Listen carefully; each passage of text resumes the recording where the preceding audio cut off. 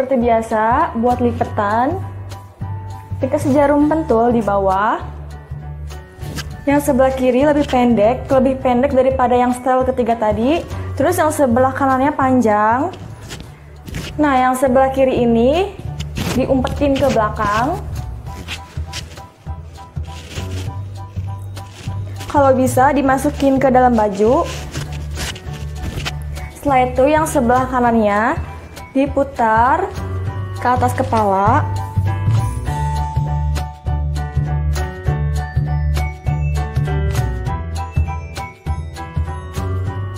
Kasih jarum pentul di sini.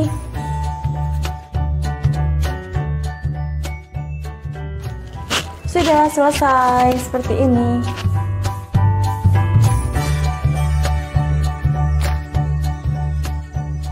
Jadi bagian depannya pendek seperti ini, tapi bagian yang belakangnya panjang.